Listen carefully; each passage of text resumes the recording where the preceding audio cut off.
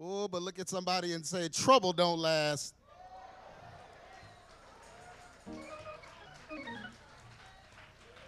Trouble don't last always. Amen. Amen. After you have suffered, according to the word, it says, after you have suffered a little while. Amen. Look at somebody and say, things are going to get better. Things will always get better. You just got to give it time. Amen. Amen. And we've all been through things. The older you get, the more you're going to go through. But you got to know that things are going to get better. Amen. Y'all believe that? Amen. Well, amen. So here we are at the very end of 2020. Oh, and don't it need to go? Amen. Not that 2021 is going to be any better, but good gracious, let's just end this one and see what happens. Amen. Amen. But I thank God for all of you. Amen. And thank God for Gerard who came out.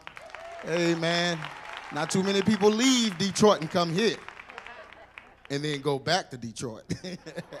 but I thank God he's here, our brother in the faith. Um, we just thank God for him. So I'm going to bring him up in just a little while. But there's, there's something I want to share with you before we go into this new year. Is that all right? You can pull this PDF up at adamantbeliever.com forward slash 2021 prayer.pdf. And this is just a little different because instead of us, instead of me doing the actual focus prayer like we normally do on third Wednesdays, I'm just to show you what to pray when you get home. Can we do that? You're going to have the PDF. You're going to be armed and ready, but I'm going to explain this prayer. And uh, I'm just a little different. Amen. I, you know, when I was growing up, not in all the churches, but a lot of churches, you know, folks competed when it was prayer time. You know, who had the most elegant, elegant words and or who could say things without taking a pause and and stumbling and messing up who you know when you could just rattle it off with no mistakes that means you were a mature believer amen but you know i i i don't believe in that and i also believe that we need to be taught how to pray. When they asked jesus how do we pray? Jesus taught them how to pray. And he said this is what you say our father which art in heaven hallowed be thy name. Y'all know the rest right? Hopefully. Well, he taught them how to pray, and so I want to teach you the same thing, but just pertaining to the things that we are dealing with now in 2021. There are just things that we can say in our prayer time, things, uh, ways we can incorporate the word in our prayer time, because if you're praying without the word, then I don't know what you're doing. You got to pray the word. Look at somebody and say, You have to pray the word, and then you got to pray until you pray. I taught y'all that just a few lessons back about the praying until you pray. That means you get down there until you start praying. After all your thoughts start wandering, and after you start thinking about what you're going to eat that night, what you're going to wear tomorrow, and what your boss might say when you get to work, and how much you wish, you know, your wife would act better, and how much you wish your husband would disappear, whatever, whatever you're talking about. After all them thoughts go through your head, it's time to pray. Because as soon as you get down, the devil's going to blow everything your way. Won't he do that? I mean, he'll start having you thinking, and then you look up, 10 minutes have passed, and you down there and ain't said nothing. I mean, can, I, can we just be real in here? Amen. I would like to think that I am sanctimonious and sanctified and very close to the Lord, but sometimes when I get down there, I look up and I'll be like, man, what have I been thinking about? Lord, forgive me. What happened? Because we are dealing with fierce principalities and powers, spiritual wickedness in high places, and all kinds of things that are going on that have been unleashed on our earth. And so, I mean, these demons don't want you talking to God. Amen. That's why they're trying to give you a shot to make you crazy so you can't talk to God. And so we want to make sure that we enter this year understanding the prayer based on last year, the prayer that we need to be praying. Amen? Oh, it's just a little rain. Amen a little rain. Amen. I told Gerard, you brought that. We was fine till you got here. Amen. So we're going to go through this real quick. Let me just share this with you. I think it's very important. Look somebody and say the prayer for the new year. And I think this prayer will carry you through and you can revert back to it, but just keep it in your files. Man, my son came up to me today and told me, Jonathan, and told me, he said, Daddy, you know, I save all the PDFs in my files so I can go back and read them. And, oh, man, I don't know if he was trying to get something from me or what. It works. It works every time. He gonna get it, whatever it was. Yes. Yeah, you can have it. Yeah. Prayer for the new prayer for the new year. Amen. So we're gonna pray this. This is what you need to pray. We're not gonna pray it now, but this is what you need to pray. Lord, give us more of you this. Do you believe you need more of Him this coming year? Amen. We don't have to know what's gonna happen. We don't have to know what they're gonna do. We know they're crazy, so we know anything is possible. We know they're pushing for communism and a toto- t- totalitarian. How you say that word? Totalitarian. Amen. That sounded like I said it. Totalitarian dictatorship. That is what they're doing. That's what all this is about. Conformance. Conformance. Wearing the mask. Conformance. Believe in the news. Conformance. If, if, if you're an outcast, if you're an outsider and not believing it, then you are the one that's targeted. All of this is a setup to get rid of Christians. So all of this is to set up a dictatorship. Why are they trying to set up a dictatorship for the whole world? I wonder. Because they want a power controlling the whole world. So the whole world can fight against Jesus when he returns. Amen.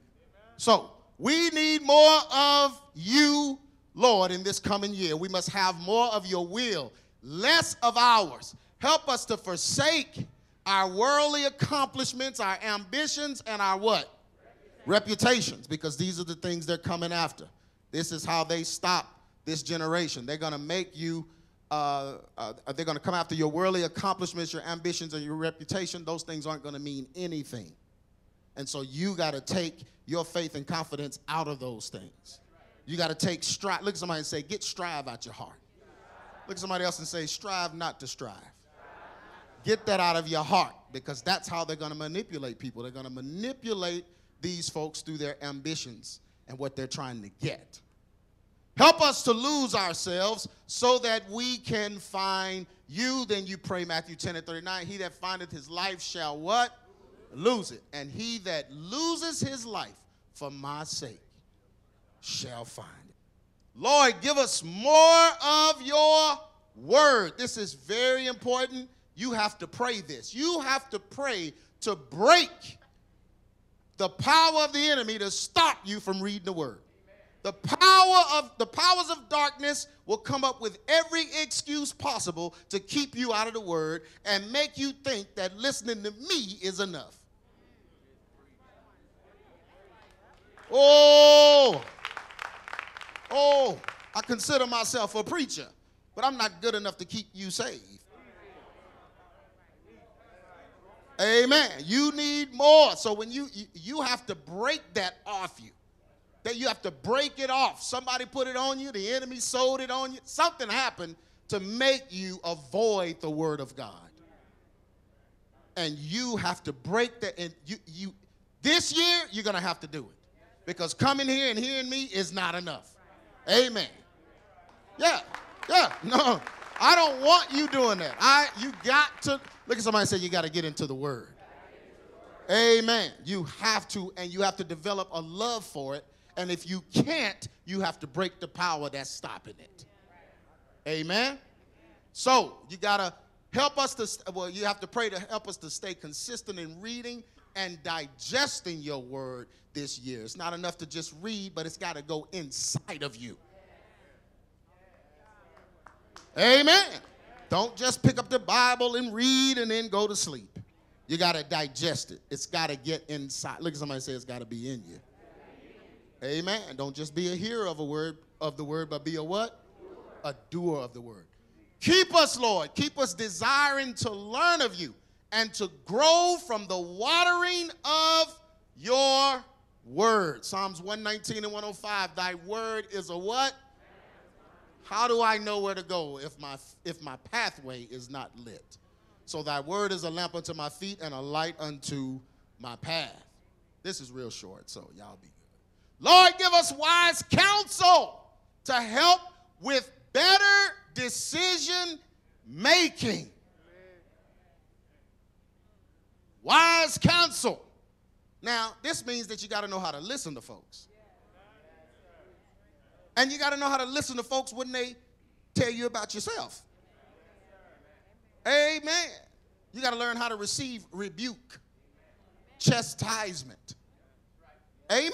When you need to change something, you got to be able to handle someone telling you you need to change it. Amen. So you need to pray that. If you got a problem, every time somebody correct me, oh, I just start feeling a way about them, and I just want I change churches. If you change churches every time you get rebuked, you're gonna run out of them. so, Lord, give us wise counsel to help us make better decisions, so we will not walk around without the advice and leading of those that are mature in you. You need mature, seasoned believers around you. Amen? I'm going to tell you, I talk to the men all the time and heroes in here, and I call it equity. I believe ABC has a lot of equity. And the equity is what these men here have experienced, what they know. Some of them are mature in the faith, been around a while. You could get so much wisdom by just hanging around.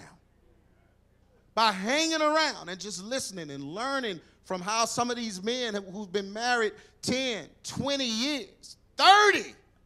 I'll be married 30 years next year. 30 years. I don't even look 30.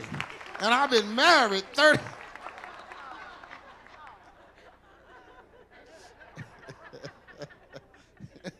I got the Benjamin Button anointing.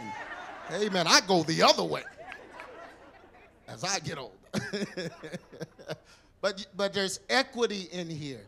That's why God put you here. That's why He led you here, so you could get counsel, so you could get what you need, so somebody can deposit something. You never know when you're going to need it. You never know. I mean, you just, man, you have to understand the blessing of being around wise counsel. Amen? Amen. So you got to. Uh, you don't want to walk around without advice and the leading of those that are mature. Help us to find the right fellowship where we can learn to get along with others, glean from, and grow with others. Amen. You hear, you, you hear how I phrase that? Help us to find the right fellowship. Because this might not be the right one for you. Amen. So you may have to keep looking for the one that you can glean from others and learn and grow from others. Amen. Take away all. Oh, you got to pray this, or you'll never find that fellowship. You'll keep getting kicked out or leaving or angry at the fellowship if you keep these things. So you have to pray for God to take away all covetousness, envy, jealousy, and strife that will cause us to be toxic to others and keep us from those that can truly help us. It's a lot better for you to go before the Lord about yourself than somebody to come to you about yourself. Amen. All you had to do was ask the Lord. He'll tell you if you're a giant turkey. Amen. He will tell you, He will show you yourself. If you humble yourself and say, Lord, you know, just too many of my relationships are failing. So is there something wrong with me? And the Lord will just speak. I've been waiting on this. Sit down, son. It's going to take a while. Amen. But I want it all out of me, so let the Lord take it out. Pray that He takes away jealousy and envy and you looking at other people and wanting what they have. Now, you can't be in a fellowship if you're like that. Because you're gonna you're gonna envy somebody in the fellowship, you're gonna want what they have, you're gonna be jealous of them. Amen. And all it's gonna do is mess your life up and cause you to covet and go to hell. Look at somebody. Ooh, hell! I thought we was gonna be in a concert. What in the world? Where the singing at? but you need to quit being. Look at somebody and say, "Stop being toxic."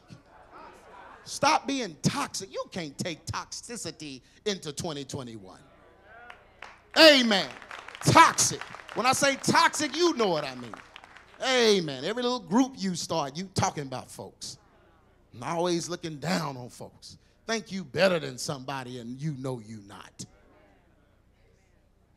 Amen. So, Lord, take the toxicity out of me So I won't be toxic to others. And it'll keep me from getting what I need, the people that can help me. Proverbs 19 and 20. Hear counsel and receive instruction that thou mayest be wise when? In thy latter end. It took an old, uh, older man to pull me to the side and say, Brother, let me explain what's going on with some of these dudes that grew up with you. They're your age now. They're looking back and they're remembering things that they should have done, things that you did that they didn't do, things y'all talked about and discussed. And that makes a man in his older days begin to feel resentful and angry. Because when you get a certain age, it's too late to change stuff.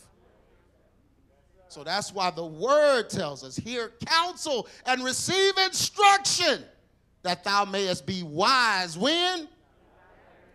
In thy latter end. Can I, can, can I preach just a little bit? Amen. Lord, give us more patience with those we love. Whoa!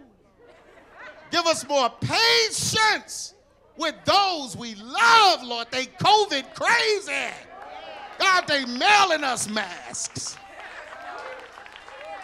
Sending them in the mail. Brother, I saw you on the video and you didn't have one. I thought I'd just bless you with one.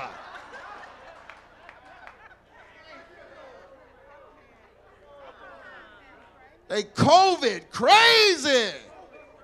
COVID crazy. Amen. They needed a test before COVID for crazy. But Lord, give us patience in dealing with these television folks, these news watching and social mediaites, and believe in everything they say. Oh, there's so many bodies around in Texas, so many bodies that there are ice trucks. Long lines of 18 wheelers refrigerated to take the bodies away from Texas.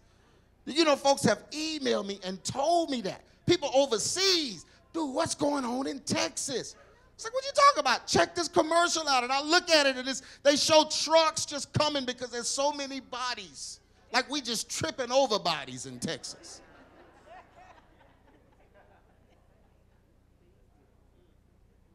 Folks believe that and can't wait to get the vaccine. The vaccine that has the tracker on it so that they can send the vial to the right demographic. They want to take certain populations out. This is about population control. Everybody ain't getting the same injection. Can I preach in here? Oh, if I put this on YouTube, it's getting deleted. Y'all better enjoy it now. We do not want to carry old offenses into 2021. Amen. There's some folks I'm not going to think about in 20 and 21. Brother, you had you was uh, you had your chance in 2020. I'm done thinking about you. As I enter into this new year, see my foot? As I enter into this new year, bro, I'm leaving you behind. I ain't thinking about that no more. Amen. And there's some folk you got to leave. There's some stuff, some offenses. We just can't take them into the new year with us. That's too distracting. You know, look at somebody and say, Jesus is coming back. Why am I thinking about that? Why am I thinking about foolishness and the Savior is about to crack the sky? I need to be preparing myself. I don't have time to think about what the devil is doing, what the elite is doing. All this satanic witchcraft, all this darkness. I'm tired of talking about it. I need to think about the light that the Savior has.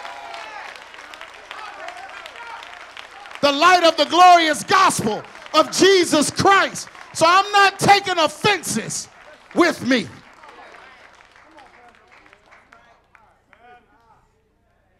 Look at somebody say, It's a new year. It's a new year. So we don't want to carry old offenses into 2021. We don't want to carry no old foolishness into 2021. Amen?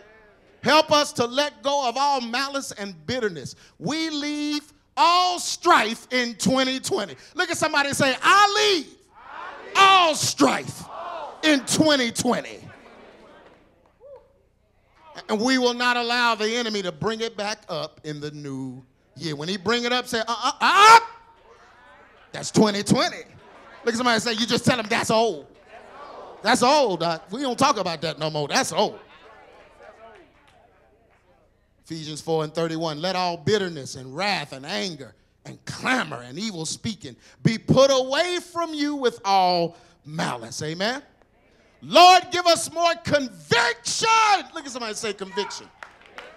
For the times we are out of line. Listen, you got to pray for conviction.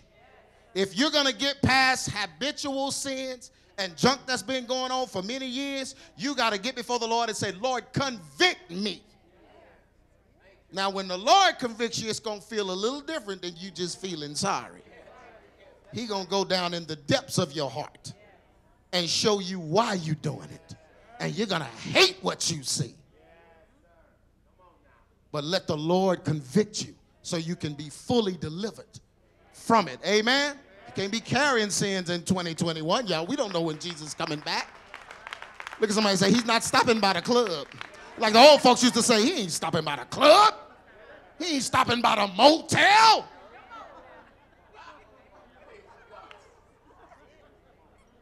Old folks used to say that. I understand it now. Amen. So you got to make sure you living right. Amen. So, Lord, give us conviction for the times we are out of line. Convict our hearts and let us know when we are making decisions that will lead to a fall. Ain't no need of praying and you off in the sin. Dice in your hand. You asking for a seven and think of heaven. It's too late.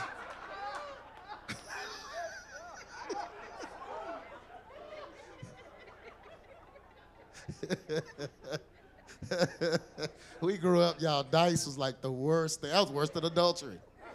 Hey, man, the church will forgive you quicker for adultery than dice. Well, if you shouting or something and a die fall out your pocket, all the music will stop. What? Wait!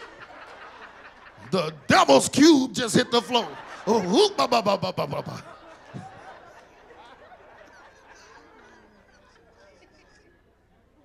That's so stupid. but Lord, convict our hearts when we are making decisions that will lead to a fall. You know, some of the stuff we do, we don't know that it's leading to a fall. So we need God to convict us in the beginning. So we don't even go down that road. Amen. That road leads to the alley. The boots and the overcoat. I ain't said that in a long time. yeah boots and the overcoat in the alley. Amen. Keep us from falling, Lord. Protect us from the evil one, his spells, his hexes, his witchcraft, his assignment for us, and the demon spirits that he has assigned to us. You know, you got devils assigned to you just because you name the name of Jesus. You're an enemy to Satan's kingdom. You hold the, look at somebody say, I have keys to God's kingdom. But he don't have his keys no more. So the devil's mad at you because you can get in.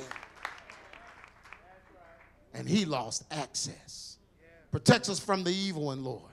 We are protected by you, God, and we will overcome the world. No matter what they bring this year, we're going to overcome it. Jude 24, now unto him that is able to what? Keep you from falling. Thank God he's there once we have fallen. Thank God he's there once we've fallen. But God is able to do what? Keep you from falling. 2021 has to be the year where he keeps you from falling. Look at somebody and say, grow up and to present you faultless before the presence of his glory with exceeding joy. We pray all these things to be so, and that you will be the light of 2021 that shines through us. Guide us, Lord, through this coming year and prepare us for your glorious return in Jesus' name. So take this PDF and pray these prayers. But I wanted to read this particular scripture and then I'm bringing our guest up. Luke 21 and 34 Take heed to yourselves, lest at any time your hearts be overcharged with surfeiting and drunkenness, cares of this life, so that that day cometh upon you unawares. It is my job as your pastor to constantly remind you that Jesus is coming back. So we can't get caught up in the cares of this world. We can't get caught up. We can't get caught up to where the day catches us unaware. We can't be worried about, look, somebody said we can't worry about this world because Jesus is coming back. So we have to take heed according to the word. For as a snare shall it come on all them that dwell on the face of the whole earth. Watch ye therefore and do what? Pray always that ye may be accounted worthy to escape all these things that shall come to pass and to stand before the Son of Man. How many of you are ready to stand before the Son of Man? Amen. I want to see his face. Amen. Amen.